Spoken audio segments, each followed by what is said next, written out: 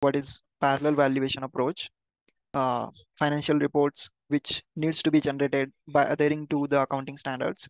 So every company or organization has to prepare a financial statement at the end of the year.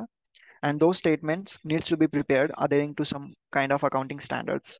So every country in which the company resides have some rules and regulations. Com every country advises for following certain accounting standards. For example, India might uh, advises to follow the Indian accounting standard. Some countries might advise us to follow US GAAP, IFRS, etc., etc. So considering those laws or rules, the companies has to prepare or draw a financial statement according to those accounting standards, following those accounting standards.